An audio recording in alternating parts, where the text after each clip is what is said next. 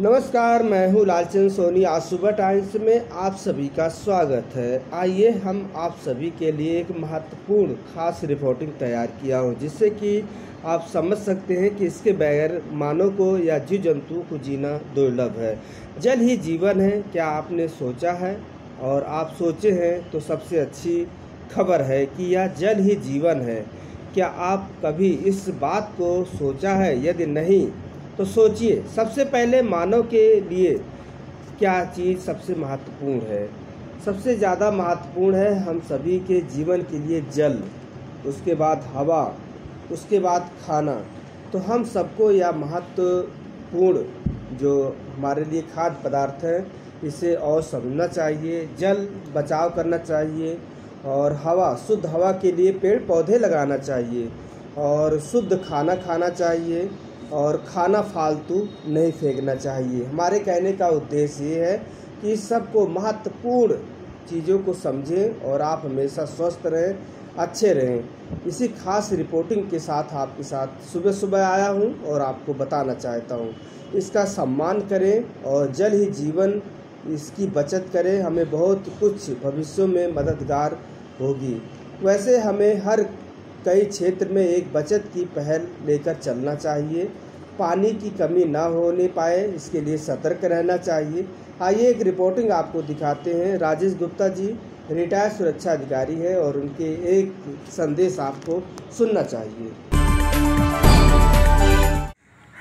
हमारे देश के सभी पेंशन होल्डर्स को बहुत ही बहुत शुभकामनाएँ और नमस्ते। आप सब लोगों को मालूम होगा कि जब हम सरकार की सेवा करते हैं तो सेवा करने के बाद, एक निश्चित समय के बाद हम लोग सेवा सेवानिवृत्त हो जाते हैं। और सेवा सेवानिवृत्त हो जाने के बाद सरकार हमें पेंशन देती है और उस पेंशन को हम लोग हर महीने बैंकों के माध्यम से प्राप्त करते हैं, जो भी पेंशन आती है। और उस पेंशन के लिए हम लोग अपने परिवार के, अपने स्वयं के और बहुत सारे जो समाज में कार्य होते हैं, उसमें उसका उपयोग करते हैं। क्योंकि ज़्यादातर लोग जो है, इसके माध्यम से अपने परिवार की परवरिश करने में लगे रहते हैं, क्योंकि बहुतों की जिम्मेदारियाँ ख़त्म नहीं होती हैं और जब तक ये ज़िंदगी है, तब तक जिम्मेदारियाँ भी रहती हैं। ऐसा नहीं कि आप सेवानिवृत्त हो गए तो आपकी ज़िम्मेदारी ख़त्म हो गई। चाहे वो समाज की ज़िम्मेदारी हो, चाहे वो देश की ज़िम्मेदारी हो, चाहे परिवार की हो, हर व्यक्ति को इसमें लगा रहना पड़, पड़ता है और लगना भी चाहिए, यही हम लोगों की एक मानवता भी कहती है। परंतु हम लोगों ने जब सर्विस की, जब सेवा की सरकार की, हर महीने जो हमें पैसा मिलता था सैलरी मिलती थी, पगार मिलती थी, पेमेंट मिलती थी, उस पर हर महीने, हर साल जो भी इनकम टैक्स आता था, वो हम लोगों को अपनी सरकार को देने के लिए बाकायदा हम लोग उसको देते थे और हर वित्तीय वर्ष में इसको हम लोग देते रहे और दे भी रहे हैं जो लोग इस समय सेवा कर रहे हैं। हमारा कहने का मतलब ये है कि जब हमने सेवा समाप्त की सेवानिवृत्त हुए तो जो हमें पेंशन मिलती है, उस पेंशन के अमाउंट पर हम लोगों को सरकार को रहमत दिखानी चाहिए। कुछ सोच विचार करके ऐसे दिशा निर्देश देने चाहिए कि इस पर इनकम टैक्स ना कटे। क्योंकि ये कोई हमारा एक तरह का कोई आमदनी नहीं है, कोई एक तरह की हम लोग कोई अलग से कार्य नहीं कर रहे हैं। ये जो हम लोगों ने अपने यौन जीवन से लेके लास्ट तक जो हमने अपना समय सेवा में गुजारा लगाया, उसके बदले में जो हमें जीवो, जीवन यापन करने के लिए जो पैसा मिल रहा है पेंशन के रूप में, वो एक तरह से देखा जाए तो हमारे लिए एक तरह का जीवन यापन का पैसा है। उसमें कोई भी तरह की, इस तरह की चीज़ नहीं आनी चाहिए कि उसमें हमारा जो है इनकम टैक्स कटे और हम लोग इनकम टैक्स दें। और ख़ास तौर से हमारे बहुत से पेंशंस एसोसिएशन, संगठन, बहुत से पेंशंस फोरम ने इस सब के लिए वित्त मंत्रालय से, भारत सरकार से अन्य जगहों पर इस पर चर्चा की है। मगर अभी तक इस पर कोई मानवीय संवेदनाओं के साथ कोई ऐसा विचार विमर्श करके कोई ऐसा निराकरण नहीं निकला है, जो कि हम लोगों के लिए एक सुविधाजनक, सुगम चीज़ हो।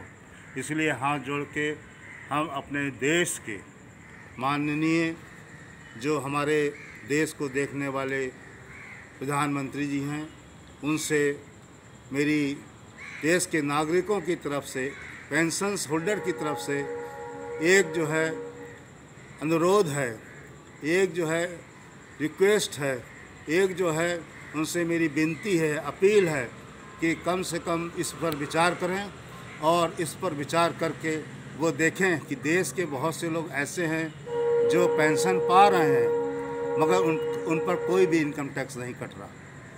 जो देश में, देश की सेवा कर रहे हैं, बहुत से ऐसे लोग हैं जो पेंशन पा रहे हैं, उनका इनकम टैक्स नहीं कट रहा। तो हम ऐसे कर्मचारियों को, अधिकारियों को, जो देश की सेवा में लगने के बाद सेवानिवृत्त हुए और इस तरह की चीज़ों से जो है हम लोग ग्रसित हैं इनकम टैक्स देने के लिए। हम लोगों को जो है अभी भी इनकम टैक्स देने की बात होती है। इसलिए एक बार अपील है हमारे उच्च अधिकारियों से, हमारे उच्च, हमारे जो उच्च लोग हैं जो इस पर बैठ कर ध्यान दे सकते हैं, उन सभी से कि आइए हम सब लोग आपसे यही विनती करते हैं, हमारे जो है माननीय राष्ट्रपति, भारत सरकार, माननीय प्रधानमंत्री भारत सरकार, माननीय वित्त मंत्री भारत सरकार, माननीय रक्षा मंत्री भारत सरकार और अन्य मंत्रालयों के जो भी हमारे मंत्रीगण हैं, उन सबसे मेरा हाथ जोड़ के निवेदन है कि इस इस पर विचार कर कर हम मानवीय संवेदनाओं के साथ, हम सब सेवानिवृत्त लोगों के साथ एक ऐसा उदाहरण पेश हो जो हम लोग इनकम टैक्स देने से अपने को सुगमता से हम लोगों को छूट मिले और इससे हम लोग जो है किसी भी तरह से इसको इनकम या इनकम टैक्स देने के लिए ना हम लोगों को प्रेरित किया जाए। ये हमारी एक अपील है, एक विनती है, जिसको हम लोग की तरफ़ से आपको प्रेषित है। आप ज़रूर इस पर अपना जो है बहुमूल्य सुझाव देकर हम लोगों को जो है इस कार्य में जो है ज़रूर ज़रूर सहयोग करेंगे। ये हमारी देश के नागरिकों की तरफ़ से हमारे पेंशन संगठन की तरफ़ से, सभी की तरफ़ से ये अपील है और आशा करता हूँ कि अपील पर अवश्य विचार किया जाएगा। इस पर कुछ ना कुछ अवश्य जो है बात रखी जाएगी और हम लोग जो है नीति आयोग से भी यही अपील करते हैं कि इस पर विचार विमर्श करके लोगों से विचार मांग कर इसका जल्दी से जल्दी हल निकालने में जो है मदद होगी। ये हमारी अपील और एक जो है हमारा जो है सबमिशन है। भारत सरकार के लिए Rajesh Gupta ACCF national team member New Delhi. जय हिंद, जय भारत।